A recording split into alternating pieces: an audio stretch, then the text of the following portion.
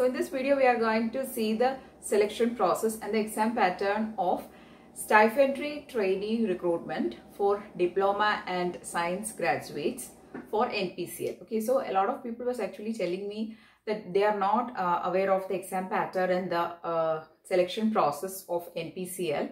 So there is a recruitment happening for stipendary trainees for diploma and B science graduate that is for BSc. Okay, so uh, in this video we'll be seeing the detailed selection process and the exam pattern mainly. Okay, so the selection process consists of two parts. First one is the written examination and the second one is a personal interview. Okay, so the written examination is a computer based examination and there will be written exam for the stipendary trainee diploma and also for stipendary trainee science graduate also. For both this category of stipendary trainee recruitments, the selection process is same. There will be written examination, then there will be personal interview. Okay, so first let us see the written exam pattern for stipendary trainee diploma people.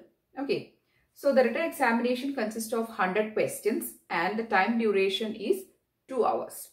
And there will be additional 20 minutes given to the disabled people. Okay, so for those category, the time duration will be 2 hours plus 20 minutes. For all the other categories, the time duration is 2 hours. There will be 100 questions. Okay. Now, in the question, the questions will be divided as two parts. There is a part 1 which is consisting of the general sessions and the part 2 will have questions from your trade. That is whichever diploma trade you belong to, whether civil or electrical or electronics. From that trade, there will be questions. Okay. Now let's see in detail. Okay, so there is total 100 questions and in the part 1 there will be 30 questions from the general session. And the general session consists of English, general awareness and quantitative aptitude. There is 10 questions from English, there is 10 question from general awareness and there is 10 question from general aptitude. If general aptitude means simple mathematics aptitude questions okay general awareness will be generally uh, the science related topics the uh, the history topics all those things can come. Then there will be english session also. Totally there is 10 plus 10 plus 10 totally 30 questions is there. And these questions will have a standard of 10th class okay? So the, this questions is only having a 10th class standard. So simple questions will be there. So to, that is all about the 30 questions and it is coming under the part 1 for part 2, you will have to face the questions from your respective trade or respective subject. There will be 70 questions and these questions will be from your diploma syllabus. Okay. So totally 30 plus 70, 100 questions will be there for 2 hours. So that is the written exam pattern for stipendary trainee diploma. Next for the stipendary trainee science graduate, again there is two parts Part 1 consists of English, general awareness and quantitative aptitude, same as that of the stipendary trainee diploma.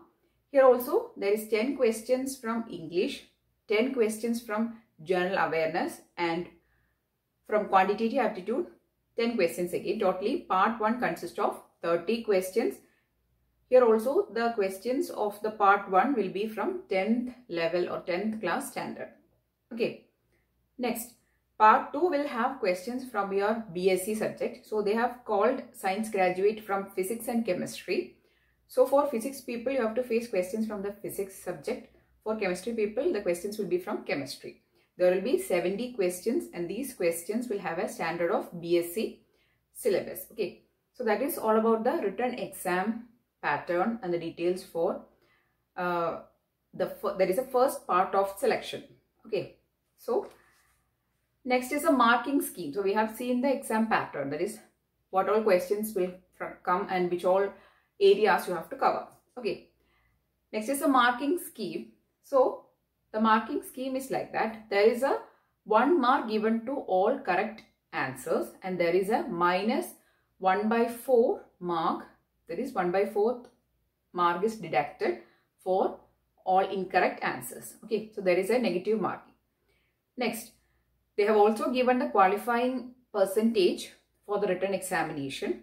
For the general category, you require 40 percentage of marks for the written exam, whether you uh, are writing exam for the diploma or for science graduate, stipendary trainee, you require 40 percentage of mark in your written exam to qualify it. And for SC, ST, OBC and disabled people, you require only 30 percentage of mark. Okay. So that is all about the qualifying mark details. Next, after the written examination, there will be making a short list of the people who are qualified.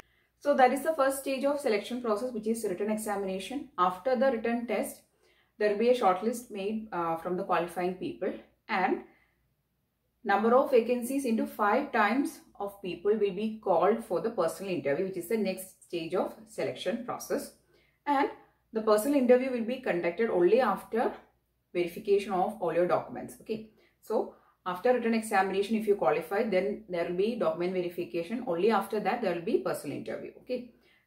So that is the selection process. There is written examination, then document verification. After that, there is personal interview. Then there will be a merit list made. And in that merit list, they will be taking 50 percentage of, there is 50 percentage weightage is given to the written exam and 50 percentage weightage is given to the personal interview. Okay. So that is the weightage given to the written exam and the personal interview. 50-50 percentage is given. This equal weightage is given to the written exam and the personal interview. And if there is some tie happening in the uh, merit list, there is a final merit list, the tiebreaker, they will be taking either age as a qualify uh, uh, as a benchmark or a the mark of written examination or the mark of your personal interview will be taken as a tie breaking standard. Okay. So that is all about the selection process. We have seen about the written examination pattern, the marking scheme, the qualifying percentage, everything we have seen. And also we have seen which all sections you have to prepare. There is part 1 and part 2. In part 1 you have to prepare from the general uh, topics. That is quantitative aptitude, English subject and also general awareness you have to prepare. And in the part 2 there, there is 70 questions and you have to prepare your subject. Okay. For science graduate, you have to prepare 70 uh, questions from your BSc subject. And for diploma, the questions will be from the corresponding diploma trade. Okay. So that's all about the selection process and the exam pattern. I'm really hoping that this video was useful because a lot of people was actually telling me to make a video on the exam pattern and the selection process. So I'm really hoping that this video helps. If yes, please to give it a thumbs up and also share it with your friends who's, who has applied for the NPCIL recruitment. And if you want more videos, Please do subscribe to the channel. Thanks for watching and keep on watching.